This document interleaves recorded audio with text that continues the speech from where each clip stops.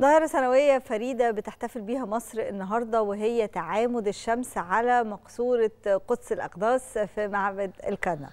دلالة اليوم ده أنه بيواكب بداية فصل الشتاء وبيعكس عظمة القدماء المصريين ودرايتهم بعلوم الفلك وحركة الشمس وحركة الأجرام السماوية. خلينا نتعرف على تفاصيل أكتر معانا على الهاتف الأستاذ عبد الخالق عبد الحميد.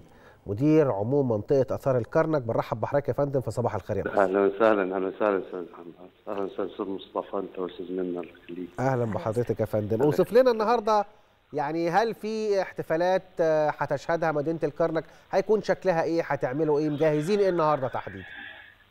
هو طبعا الاحتفال بالظاهرة موجود بس اللي هي الاحتفالات اللي كانت تقام على هامش الظاهرة. طبعا عشان الأحداث اللي في فلسطين كده ما ما اتعملتش السنة دي بس الاحتفال بالظاهرة ما زال موجود زي ما هو. آه ظاهرة فريدة آه على قدس أقداس معبد الكرنك فما زالت آه مستمرة يعني. طيب على على الهامش في بعض الاحتفاليات اللي ممكن تكون هتتعمل. الاستعدادات ليها ابتدت من إمتى؟ إيه أبرز التجهيزات؟ حتى وإن كان مش معمولة بشكل احتفالي كبير كالمعتاد. هو لا لا هو كل زي كل سنة طبعا هي طبعا إحنا سعينا في الفترة الأخيرة نحط الاحتفالية دي على الأجندة السياحية عشان تجذب العديد من السياح وال لمصر. طبعا ونجحنا بالفعل في في الكلام ده.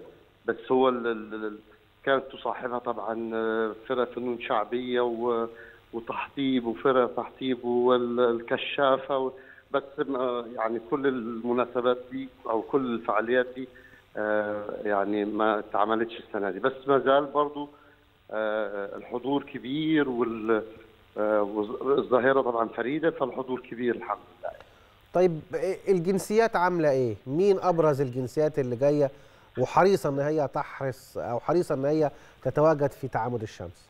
في جنسيات كثيره طبعا في في إنجليز وفي مجموعات أمريكان وفي بلجيك وفي جنسيات أوروبية طبعا موجودة في المعبد عشان تشوف الظاهرة الحمم لله يعني.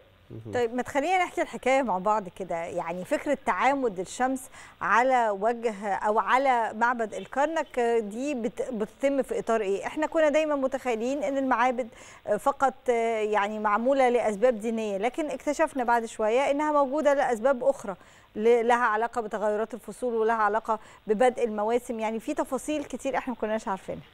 آه هي الظاهرة طبعا تعامد الشمس على قدس اقداس الكرنك دي ظاهرة فلكية أولا تدل مش مش في الكرنك بس في حوالي 33 معبد ومقصورة في مصر بس تدل على براعة المهندس المصري في علوم الفلك على الرغم من استخدامه أدوات بسيطة يعني في في كان عندنا في الأقصر هنا مثلا أو في طيبة أو طائبة الاسم القديم للأقصر معناها العرش يعني.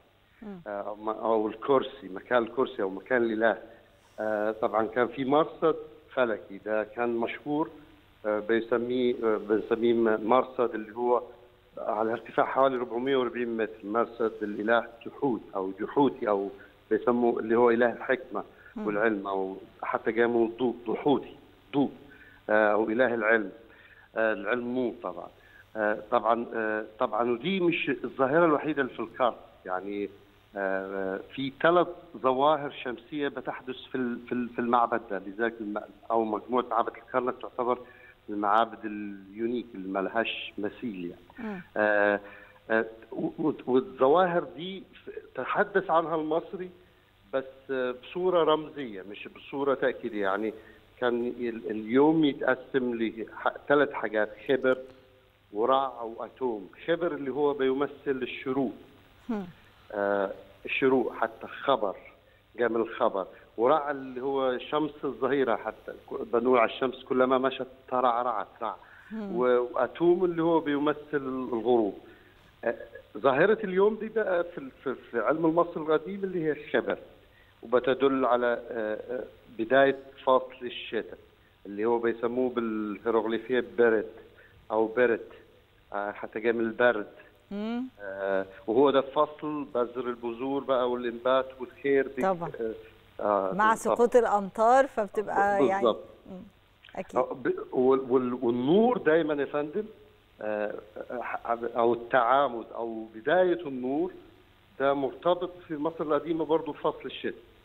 يعني ده ارتباطه برضه بفصل الشتاء آه، آه، المختلف في الظاهرة دي عن أي مكان في في في, في مصر يعني بتتعامل عليه الشمس إنه إحنا بنشوف قرص الشمس كله.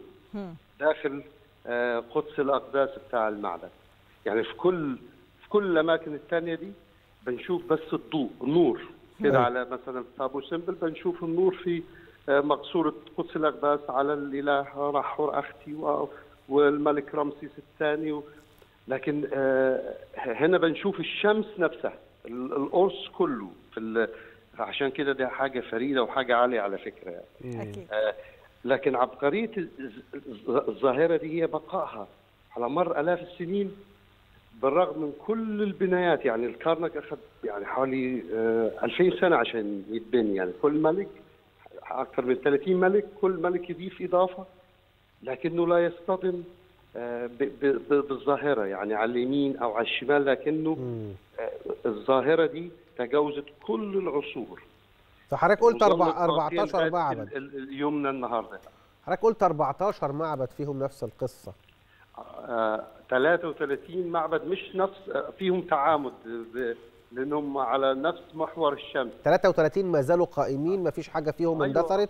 نعم، سلسلة آه، أبو سمبل كارنك آه، حتشبسوت النهارده في- على فكرة فيها تعامد بس في. برضه ضوء, ضوء الشمس مش مش طبعا هي ظاهرة كويسة كان فضل برضه ل- ل- لباحثين مصريين و و- وأجانب اللي اكتشفوا الظاهرة دي